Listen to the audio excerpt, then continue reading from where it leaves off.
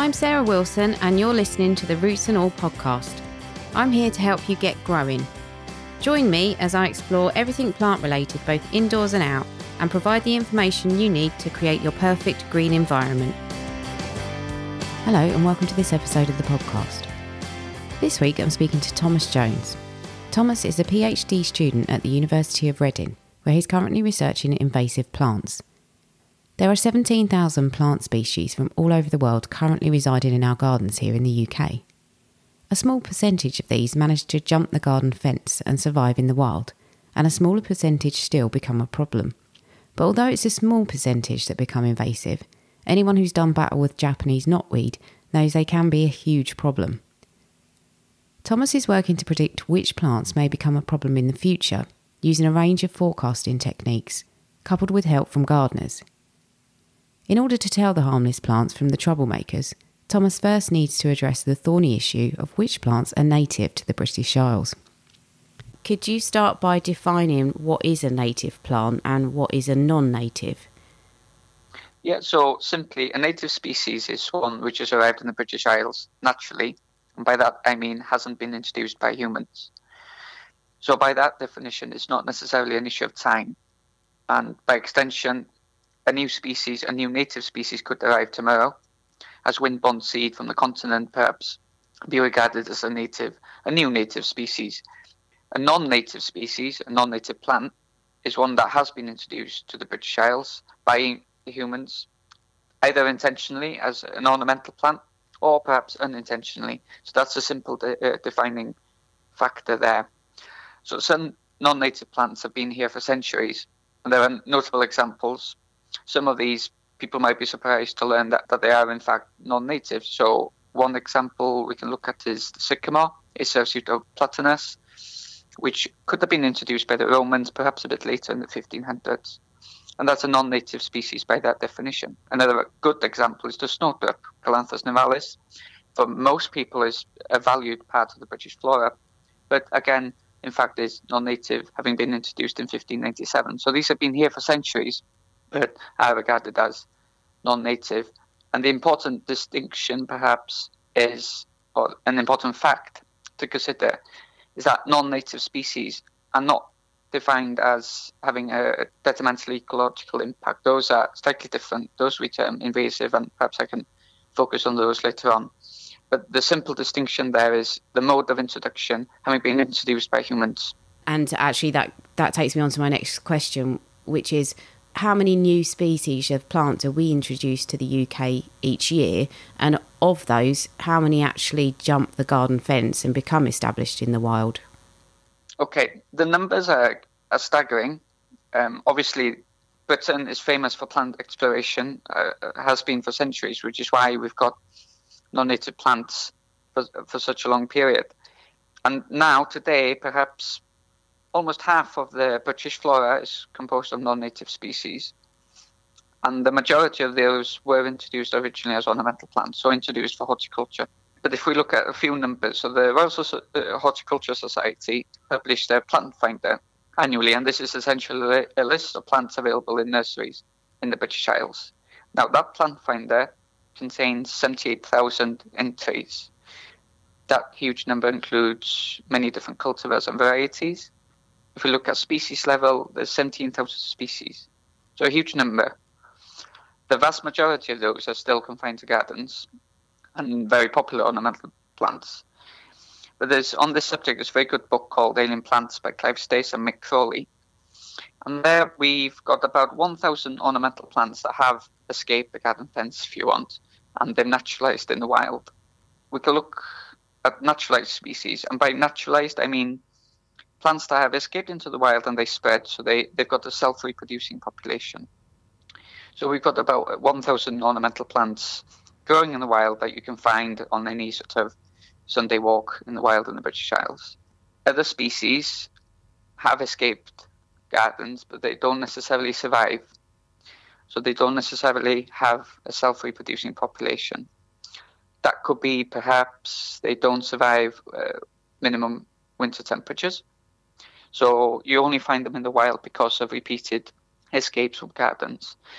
some of those could be summer bedding, for example. So French and African marigolds are a good example. I haven't looked at these two species in doing my PhD, but I remember planting these with my granddad as a child. Popular bedding, summer bedding, but you only find them in the wild and because of repeated reintroductions or escapes. Of the ones that are able to reproduce of their own accord, yeah. Would you class all of those as invasives?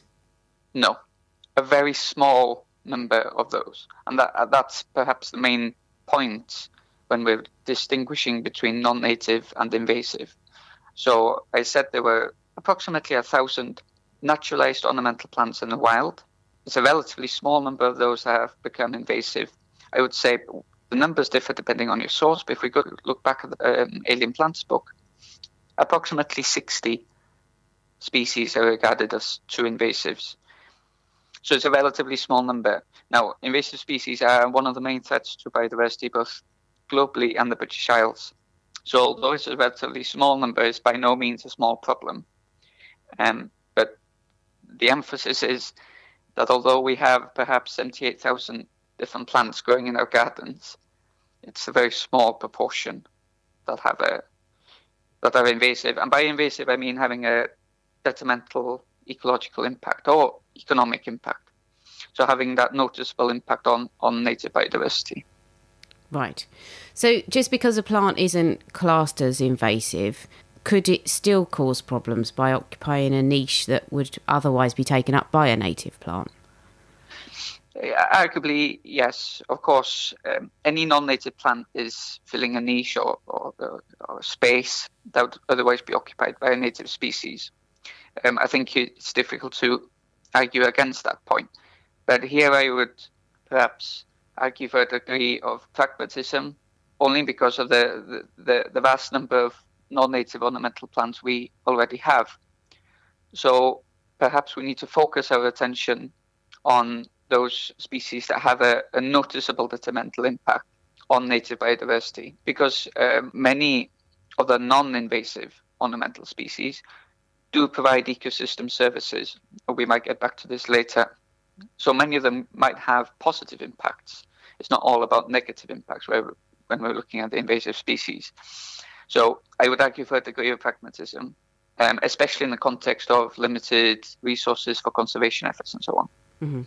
I think we probably all know about things like Japanese knotweed, but of giving a broad overview of the 60 invasive plants that, that you're concerned with, what kind of things are they doing that is causing such trouble?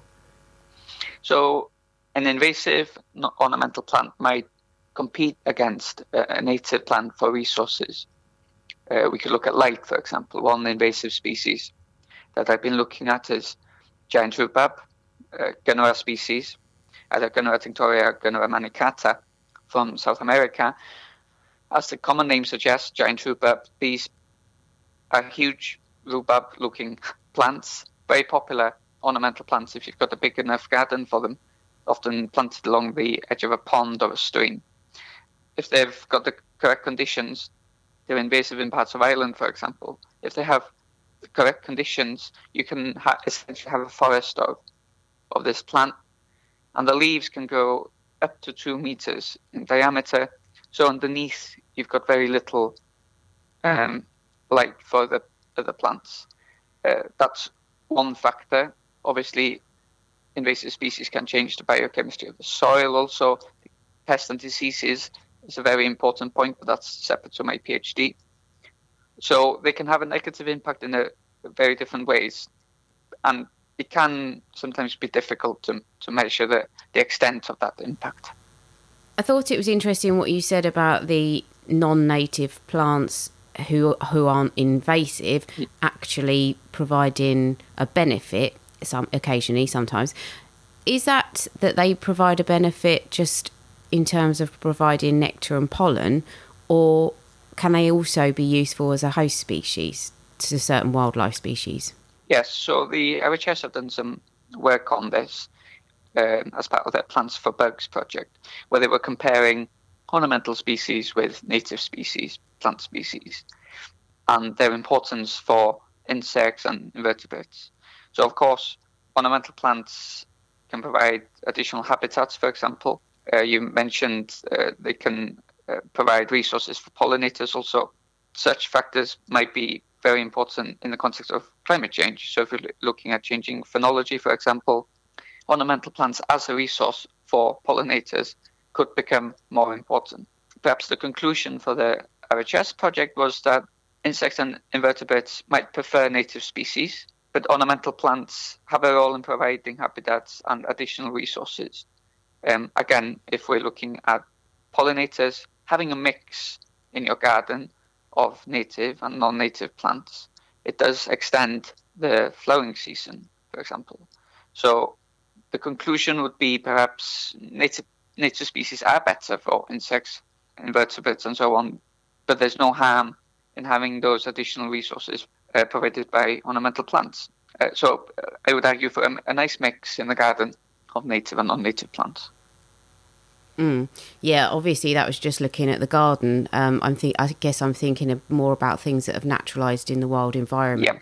Yeah. Um, I think maybe that RHS study, I did have some issues with it. I thought it was slightly disingenuous because they did I think, downplay the importance of the native plants in the conclusions that they put out in the press um, because it, they did actually say that it was, you know, it, it, was proven that the native plants were preferable, but they did only look at pollinators. They didn't look at the plants as host species for for biodiversity. So again, I think in a garden setting, yes, it's great to have a mixture.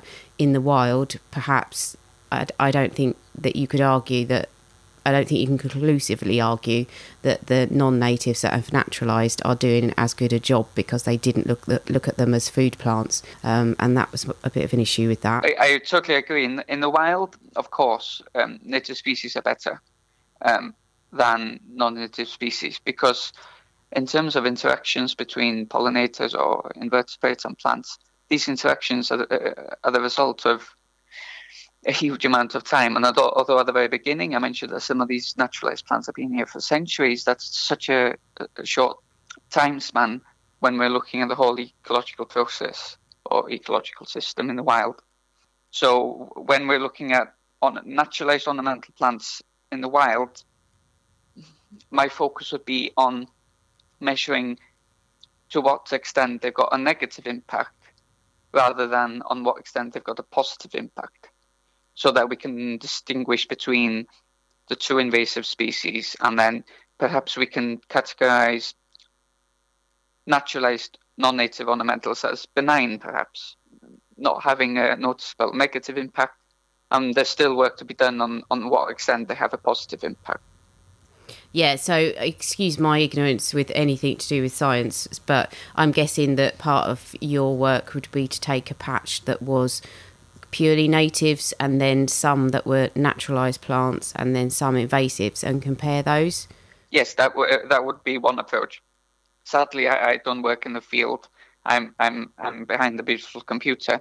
But one one one way of measuring the the impact or the comparable impact of native and non-native species for biodiversity would be yes, um, a field experiment where you've got a purely non-native plot, and then I would argue also to have a mixture because in the wild they, they are not separated. They they do interact, and and for the most part perhaps um, uh, coexist. Um, so it would also be interesting to measure their relative performance as a mixed stand of native and non-native plants. Um, so thinking about it in terms of the garden again, yep obviously you said that there's 78,000 species that we have in this country now as according to the RHS. I don't see that slowing down anytime soon. We seem to have quite an obsession for the new and the novel in, when we look at plants. Um, but do you think that there should be tighter controls on the importation of plants into the UK because we just don't know what we're bringing in? It's a very difficult question to answer. Um, legislation certainly has an important role and it's an important mechanism in terms of controlling plant introductions. So for us in the UK, uh, if we're looking at invasive species that have been introduced, these fall under Schedule 9 of the Wildlife and Countryside Act, but also the EU regulation on invasive alien species. And I cannot say how that legislation will, will develop given the political context we're in. But legal mechanisms such as those are important in banning species that we know are invasive. My particular interest here, and it has the same goal as tighter controls on importation, is public awareness of the problem. Perhaps it's a softer approach, but has the same goal of controlling potentially invasive species, and that's raising public awareness of the impact they can have. And for invasive plants, of course, gardeners are crucial in that. Yes, it definitely would be a great thing for people to understand about the plants they're bringing in and to take responsibility because, as you say, it's, it's, it's difficult to legislate. It's better if everybody could take responsibility for it. So, yeah, yeah, I think that's a great way of looking at it. Because legislation is obviously important, and the legislation is updated in terms of the, the plants that fall under the legislation. But as I said, my particular interest is in raising public awareness, and that was the the main reason for the University of Reading exhibiting at the RHS Chelsea Flower Show last year was raising awareness of the problem of invasive species among gardeners, and it went down very well. Um, as a topic, gardeners were very interested in in the topic and their role as gardeners in reducing the risk associated with invasive species. What was the garden that you had at Chelsea last year? So at Chelsea, we had an, exhibit called Ornamental Plants, Our Future Invaders, which is essentially a summary of my PhD. And this formed part of my PhD project. And this is in the Discovery Zone of the RHS Chelsea Flower Show. The Discovery Zone is where visitors can engage and learn about horticultural research. So for this, we were awarded a, a gold medal. And the main element of the exhibit was a wooden fabrication of a plant called giant rhubarb, the tinctoria, which is invasive in parts of Ireland. As I said, now in the shadow of this wooden structure, I planted a selection of popular ornamental plants. Some of these were invasive, others not. And this combination of invasive and non-invasive ornamental plants helped me explain the invasion process, how ornamental plants escape gardens and grow in the wild, and to help me explain, we had beautiful interpretation material, including leaflets and, and interpretation boards. These were designed by undergraduate students at the Department of Typography and Graphic Communication at the University of Reading. We distributed two and a half thousand leaflets and probably engaged with seven and a half to ten thousand visitors during Chelsea Week. And there was a huge amount of interest in the issue of invasive plants and the role of gardeners in in that issue, not only in responsible gardening but also the choice of plants and so on. So, which ornamental plants have the potential to be invasive, um, I guess, now and under future climate scenarios that you might particularly like to highlight to listeners? A, a beautiful question, and that's the main challenge of my PhD. So, that's what I'm looking at at the moment. And uh, of course, it's not just me looking at this. Um, to measure invasive potential is um, is very difficult um, because there are so many factors involved. The stage I'm at at the moment, I've been engaging with gardeners across the British Isles, and over 800 gardeners have completed the survey for me, which had a very simple questions. The question was which or what is the main ornamental plant that you've noticed invading or taking over your garden?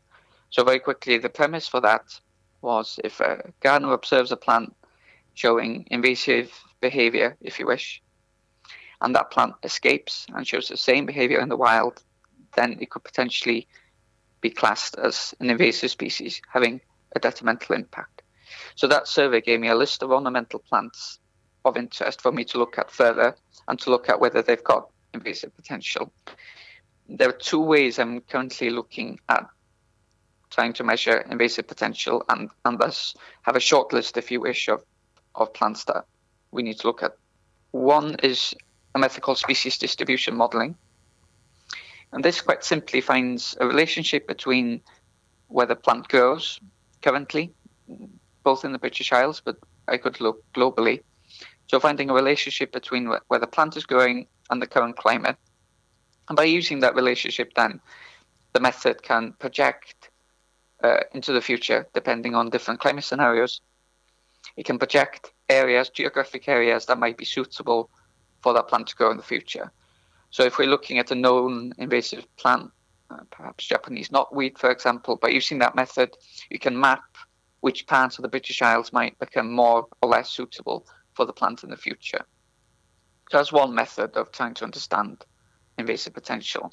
But on its own, it has limitations. So another approach also is an approach called trait-based, um, and this trait-based approach essentially tries to identify characteristics or traits of a plant that make make that plant more likely to be invasive, and it can be a, a combination of traits. And there's a lot of research being done using this approach, but theoretically, if you can identify uh, a combination of traits that increase the invasive potential of a plant, could then combine that method with the species distribution modeling to try and measure that invasive potential from different different perspectives. Um, but as I said, it's a very, very, very difficult question to answer, and it's becoming a very, very dynamic and busy field of research globally, um, measuring invasive potential. Could you also? I, I, think obviously your we spoke before, and your work is ongoing. Yeah. Um, but from that, you you can potentially tell which plants might become a problem in the future as well. So, have you got any conclusions about that, or is that still part of the ongoing research? So, at the moment, I've got the list of plants from the survey I mentioned. So, that's a survey where 800 gardeners have given me plants that they deem problematic in their gardens. Um, there's probably 150 ornamental plants that have been reported in that survey. And I can give you the top three, which I'm looking at. I'm mm, looking at the please. I'm looking at the full list, of course. But the top three are very interesting when we're looking at invasive potential. So the f- most commonly reported is Japanese anemone, anemone hybrida, followed by lady's mantle, Alchemilla mollis, and then the third most commonly reported plant is Montbretia, Crocosmia, crocosmiiflora. Now, due to pure luck, these sequence or the top three are very interesting when we're looking at how ornamental plants escape and potentially become invasive. So, if I can es- explain, Japanese anemone is not naturalized, or at least not widely naturalized, and that, uh, and I don't know of it self-reproducing in the wild. So that Japanese anemone is an example of a plant that has not naturalized of ornamental origin. Lady's mantle, on the other hand, has naturalized, and you find it in the wild in the British Isles. So that's an example of a plant that has escaped the garden fence, if you will, and it self reproduces in the wild. The third example, then, Montbretia, is regarded as an invasive species. Not necessarily throughout the British Isles, but I come from North Wales. It's certainly problematic as an invasive species in hedgerows and so on. In North Wales, it loves the conditions up there. So that's an invasive species that originally escaped the garden, naturalized, and then had a detrimental ecological impact. So those top three plants from the survey illustrate quite nicely the process of plants escaping. So those are sort of uh, plants I'm looking at further using those two methods I mentioned, species distribution modeling, and the trait-based approach. So hopefully, short having a short list essentially of ornamental plants of high risk in the future. Actually, three things struck me when you were talking there. The first one, I suppose, is it's a two-parter. Is it more likely that a plant is likely to establish in the wild if it has a near relative already in the landscape? And if it does, is that plant more likely to fit into an ecosystem in a positive way because it's similar to an, a plant that's already native to the British Isles?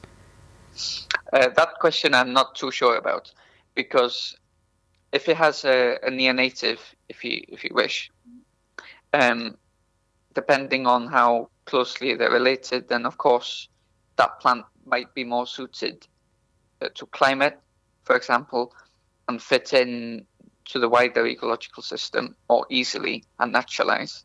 But the the main, arguably, the main step for naturalizing is whether or not that plant um, can spread. So, of course, that's reliant upon being able to reproduce, self-reproduce, either vegetatively or by seed. And of course, depending on how the plant reproduces by by runners, vegetatively, or by seed, that has an impact on how quickly a plant can naturalize um, and spread. Uh, yeah, and it also struck me that, that it seems to be the most problematic plants are the ones which spread underground. Um, I mean, Crocosmia, if anybody's had that in their garden, they know what an absolute nightmare it is to try and get it out of the soil. Yep. Um, ditto Japanese anemone, which will reproduce from, from roots. Um, and anything like that, like the Japanese knotweed, anything that can reproduce via runners or, or bulbs or tubers actually seems to be maybe the most problematic to deal with in terms of removal. I don't know whether that's true or not, but but it seems as if it could be. Uh, it could well be true. Uh, it's the same. I share the same perception, and those are the sort of traits that could be looked at using that trait-based approach. So looking at a characteristic of a plant and which characteristic increases the probability of it becoming invasive. So when we're looking at plants that spread vegetatively, of course, as you say, they, they can be very problematic in gardens. If we look at Montbretia again, um, does spread vegetatively. And in North Wales, I've seen it myself where a gardener, this is going back to raising public awareness of the issue, throwing Montbretia over the fence into a wild patch um, does not necessarily mean that will compost down. If the conditions are correct, it will probably thrive. And that's perhaps how Montbretia has spread so widely uh, in North Wales. It's false understanding that the plant might just compost down if it's thrown over the fence. But uh, is a good example of, because I've seen it myself, of how that doesn't happen. And that, that's a, a mode of being introduced into the wild. And you could, on that basis, have repeated introductions into the wild using the same practice. Yeah, that's very true. So obviously, gardeners need to be very aware of what they're doing. Is there anything that they can be doing to help with any further research, maybe that you're doing or that anybody else is conducting? Yes, and um, of course, here I will point out that the, the vast majority of gardeners are responsible responsible gardeners. It, it's small practices such as this that we need to raise the awareness of. Gardeners are always encouraged to participate or engage with my research, and I, I try my very best to share it online, uh, doing podcasts such as this or blogs, for example, giving talks. Uh, I, I, very much enjoy giving talks to gardening groups because always after giving a talk, you're, uh, I'm I'm given very difficult questions that might I might not necessarily be able to answer on the spot, but I very much enjoy then catching up or following up on those questions afterwards. Not only can gardeners engage in research such as this, try and engage with their local gardening groups or even the Royal Horticultural Society, of course. But then there are small steps you can take in the garden. Um, I've used the example of the Montbretia. But if we look at invasive species, it's the choice of plants that we have in the garden. So, firstly, looking at do we need to have an invasive plant in the garden still? Or could we look at alternatives? Failing that, if we have uh, an, an invasive ornamental plant growing in the garden, many of these are beautiful. That's why they've been introduced initially. Small steps such as deadheading the plant before it goes into seed, for example, again reduces the risk associated with that plant. So there are many small steps that gardeners can take. And just casting a gaze into your crystal ball, do you think the way that we garden will change in the future as a result of threats to our ecosystems? So perhaps maybe we'll have less plants imported, or there will be a smaller range available, or even that we might ban certain species. Do you think? Do you think we will have to change our gardening practices? I think undoubtedly we'll have to change, mainly because of climate change. So that could be, um, if we go back to legislation, uh, I mentioned that the, the list of plants, invasive plants that fall under legislation, is updated, and that's important to update the list of plants, banned plants, so that it reflects current data and current evidence. And that, of course, means that we might lose a few plants from our choice if they fall under legislation. But of course, at the very beginning, I mentioned that we had 78,000 different ornamental plants in the British Isles, including all the different varieties and cultivars and so on. So it's not as if we've got a limited choice to experiment with. And in the future, if we're being optimistic, Um, I am a gardener, so uh, there is bias here perhaps, but if we're looking at climate change, it gives us an opportunity to grow plants that have so far been struggling, perhaps because of rising average winter minimum temperatures. For example, we might be able, especially in the south, to be able to experiment with new ornamental plants. Of course, carefully so that we consider whether they have invasive potential or not. But there's also a positive side to, to change. And also practices, of course, there are wider implications when it comes to changing gardening practices in the future. That also includes pests and diseases, buying British grown plants where possible, of course, and also issues such as sustainable water use and so on. There's a huge list of factors that we need to consider when it comes to uh, a changing climate, and of course, those will then have an impact on how we gather. As always, a huge thank you to today's guest, Tomos Jones. You can find the link to Tomos's blog in the show notes. Thanks to you too for listening, and don't forget if you're enjoying the podcast, please do share it with others who you think might be interested. If you can't support me on Patreon or sling me a few quid on GoFundMe, and I do get it, sometimes the pennies are tight, it's the next best thing that you can do to help me out, along with giving me a review wherever you get your podcasts. I'll catch you all next Tuesday. You can download or listen to the podcast direct from the website www.rootsandall.co.uk, where you'll also find my blog and a sign up form for the newsletter, which gives you a weekly roundup of content plus the inside scoop on things like upcoming guests. Or you can subscribe wherever you normally get your podcasts. Email me with comments and feedback at podcast at rootsandall.co.uk. Follow me on Twitter, Roots and All, Facebook, Roots and All UK, and Instagram, Roots and All Pod. But please also check out my Patreon, where you can make a one off donation or take out a monthly subscription to help support my work. Because if you like what I do, please help me to continue doing it.